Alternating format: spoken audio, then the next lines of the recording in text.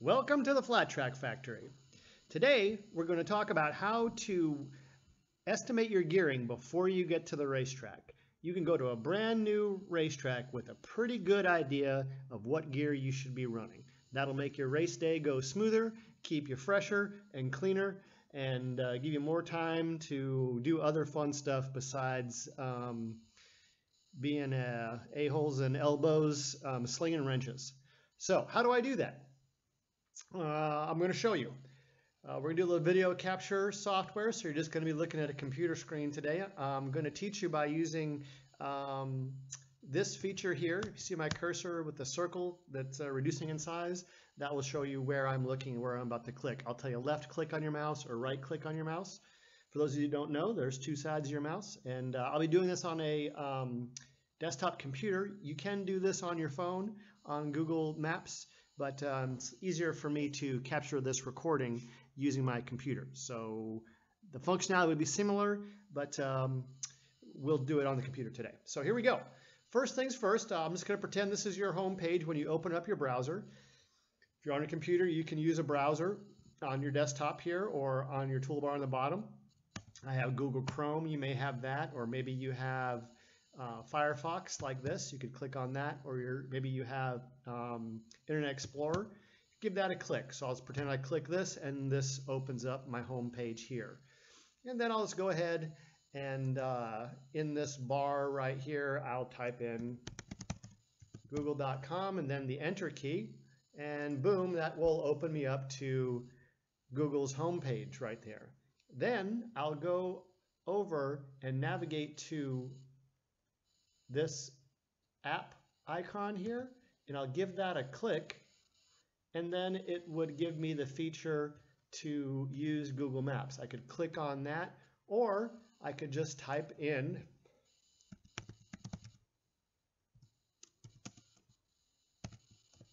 Google Maps and get it the same way. Google Maps and enter will take me to the same spot. So then you could just click on Google Maps right here. Either way, you will go ahead and end up here on Google.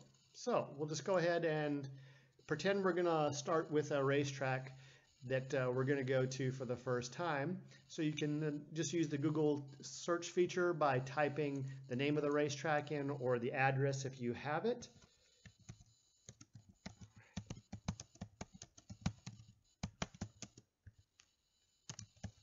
So I'll type in an address there and it'll take me to that address. Then I'm going to close this side panel here with this delta arrow and then I'm going to switch, switch to the satellite view by clicking the satellite button down here in the left-hand corner. And sure enough, I see a racetrack. So I'll click and hold and drag that racetrack to the center. Then I'm going to rotate it 90 degrees to get the racetrack in this orientation for easier measuring. So I'll go ahead and uh, click on this feature over here. It's going to think about it for a while. I'll have a little adult beverage here. Hope you're enjoying one as well. I don't know what's going on there. There we go. Click on this to rotate the view 90 degrees. And that just gives me more real estate when I blow this up. I'll use this plus feature here to go ahead and expand this racetrack. A cool little short track that we raced at. Um, uh, fun feature about this track, see this access road? That's paved. See these pits? That's paved. You see this staging area? That's covered. See these pits? They're all covered. Here's like a, a movie theater style seating in this box here and in that box there and that box there. Kind of a trip. You got to come check this out sometime. Okay, I'm going to go ahead and uh, maximize there and just fill out this screen as best I can with the whole racetrack.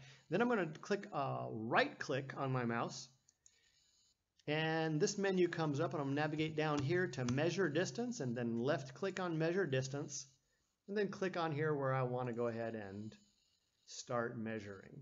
So generally what I do is I start at the exit of turn four just for fun. So what comes up initially when you click on measure distance is, and then click on the map, you get your first two um, indicators. So I go ahead and kind of put this about three feet off of the inside of the racetrack, off the pole. When I was a kid reading the AMA Pro Racing Rule Book, I believe, or I think I, I think that's what it said, is uh, racetracks are measured, measured three feet off the pole, so that's what I always do. Now, it really doesn't matter what, uh, where you measure the racetrack. You could measure it on the inside or in the middle, or I suppose you could even maybe measure the racing line. As long as you're measuring each and every racetrack as close to exactly the same way each time, your data will be consistent enough to give you um, helpful information. So uh, incidentally, uh, I got a buddy who has a measuring wheel and um, this feature seems to be pretty close. I think he runs around the middle of the track, I run around the bottom, but the bottom line is we're comparing one track to the next. Uh, the number is kind of irrelevant. So again, uh, I'll just grab a hold of the second pin here and drag that about to the end of the straightaway. And then I'll let go of it and then I'll just move forward. Now that I'm in the corner here, I'm just to kind of do the best I can.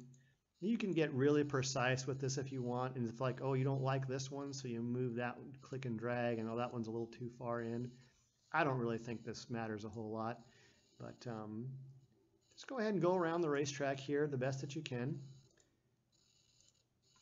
Try to be consistent about it. And then when I get to the exit of the corner, it starts to get straight. Looks like we got 539 feet already, right? It's got a cumulative total down here. So now that I got the straightaway, I'll go ahead and save some time by clicking all the way down at the other end of the straightaway, right? Maybe that's a little too far, so maybe I'll move it back. Corner's already started, looks like. Then I'll just go ahead and keep on going around here. You guys getting bored? You clicked off already? Anybody watching anymore? About done with my first racetrack there. Okay, so what do we got here? Looks like we've got our total distance around the bottom, uh, 1,000 feet. All right. So what? What does that mean? Well, I don't know. Let's find another racetrack. So open up another window go ahead, go to maps, and then type in, let's type in a completely different racetrack.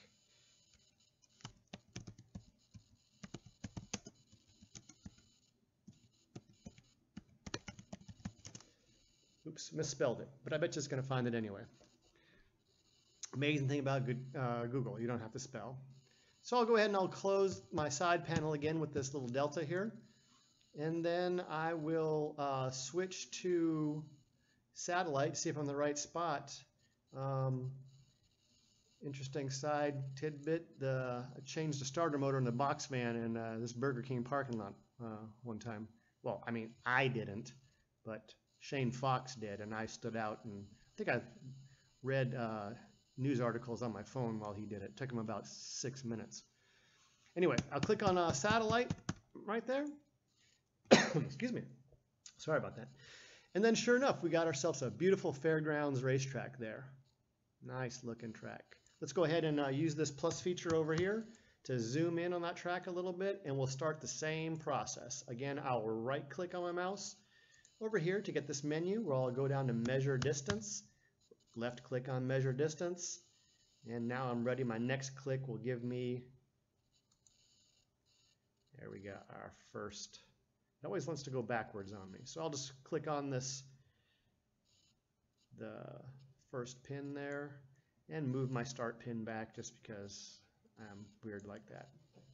All right, now I'm going to go ahead and stretch this pin all the way down this way to measure this big long racetrack straightaway. So I'll go ahead and uh, click on the map here hold and drag so I can get this side of the racetrack visible. Then I'll grab a hold of this pin over here and stretch it all the way out to what I think the end of the straightaway is. Look at the size of that straightaway. It's a good 660 feet of straightaway. Then I'll go back to the same process, try to go to right around the pole. So we raced, uh, the first time they've ever raced motorcycles at this fairgrounds was last summer. It's uh, coarsely crushed uh, blue limestone, according to the track prep guys. I don't know what that means exactly, but that's what they said. When they watered it and put the chemical down it on it, it looked like black asphalt. It's hard packed in the straightaways and about a foot deep in the corners, and I would not recommend getting roosted by it.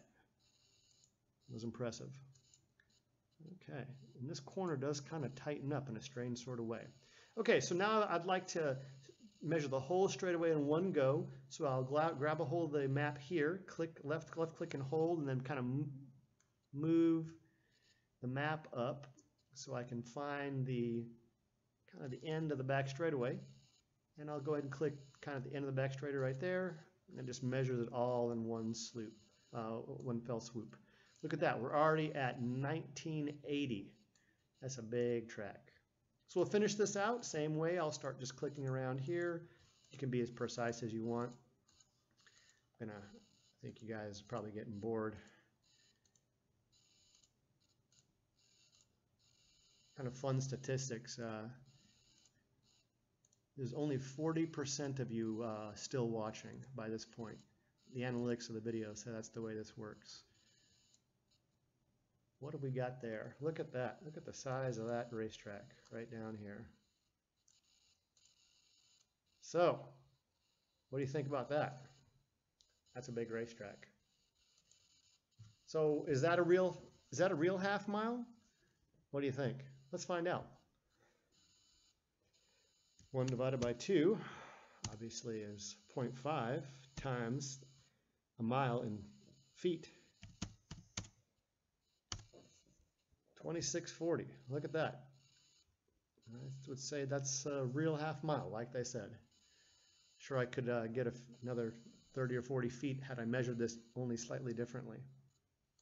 Pretty cool, right? Go ahead and minimize that a little bit and see. There we go. That's how we measured that track. You want to do one more for fun? Let's do one more for fun.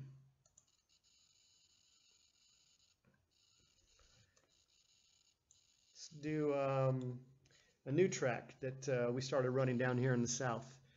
Um, it's right there on 85. I've been driving past this thing for 15 years and wondering, kind of like to race there, and we finally did.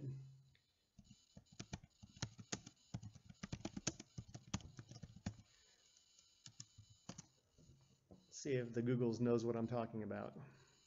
Hmm, looks like it does. I'll go ahead and again collapse this window then I'll go to satellite imagery, see what it looks like. Hey, look at that, a racetrack right by I-85.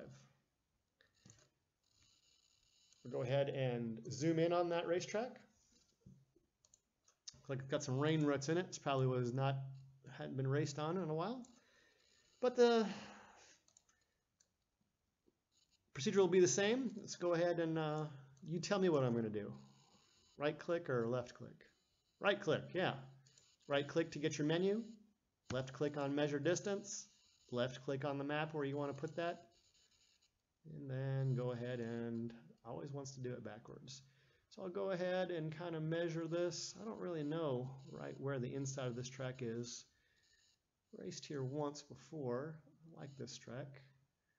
Go ahead and mm, probably gonna long corners, I guess. All right. And then let's kind of follow this along here. You guys are getting bored of me doing this. But repetition is key to learning. And it gives me an excuse to talk a little longer. So why are we doing this? What are we trying to accomplish here? Well, we're trying to get some data here so we can compare similar track sizes. And then that's going to be a starting point for what gear we're going to run. Now, of course, there's other variables to what size, uh, I remember this now, those are tires right there. I think we're pretty close. Um, there's other variables to how quick a racetrack's going to be. Uh, the banking and the friction, you know, the coefficient of friction, which is going to be primarily with uh, the dirt used and the wetness of the dirt and all of that sort of stuff. So track size is not it. So what have we got here? Look at this one. So what would you call that? Um, kind of a fun feature. Uh, once a racetrack gets to uh, about a thousand feet, track owners get tempted to call it a quarter mile. And uh, once it gets to about 1,300 feet, then they are they want to call it a 3 eighths mile. And once it gets to what's a 3 eighths mile uh, in length, then they want to call it a half mile. So, you know, that's little bit of human nature on that. So this is a, you know, a 1,100 foot uh, racetrack. So what are we going to do with this information? Well, let's take a look here. This first racetrack that we went to looks like we came up with a with a thousand feet.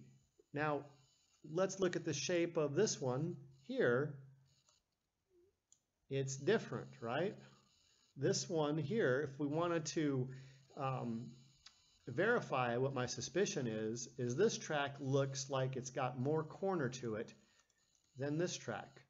So let's find out.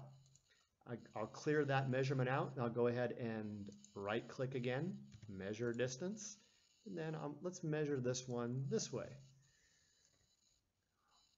135 feet across. Let's look at this racetrack. What is this one? Right click, measure distance, left click. My button appeared there, our first. Yeah, what do we got there? 206 feet. Interesting. So what does that mean? Well, I think that means we're going to have higher corner speeds here and lower corner speeds here, all things being equal, which they never are. But you got to start somewhere. So that's kind of, and I could go on here and we could talk about the intricacies of this, but this has served me very well. I uh, write down in a data um, in a data bank or just a note on my phone. Uh, data bank makes it sound like I'm some sort of computer guy or something. Yeah, just write it down on a piece of paper or make a note in your phone and say, you know, this track I ran this gear, and maybe the next time you go back, you might make a change. Note note that down, and then you're going to build up your knowledge base of how long these tracks are by measuring them like this. Jot those down in your notes, and uh, next time that you uh, go to a new racetrack you've never been to, you go on Google Earth, look it up, measure the track, look at something else in your data, and that's a good starting point. So there you go. I hope you got something out of this. If you did, do me a favor, click the like button. Maybe tell me uh, what you think I could have done better. Uh, let me know how you do it. Uh, let me know what we could um, improve on. Uh, just what you think. I appreciate the, reading your comments and uh, the like and subscribe and notification bell clicking, all that stuff that uh, YouTubers like to tell you, it just makes a big difference on the creative side. So uh, if you feel like doing that, that'd be great. Thanks for watching.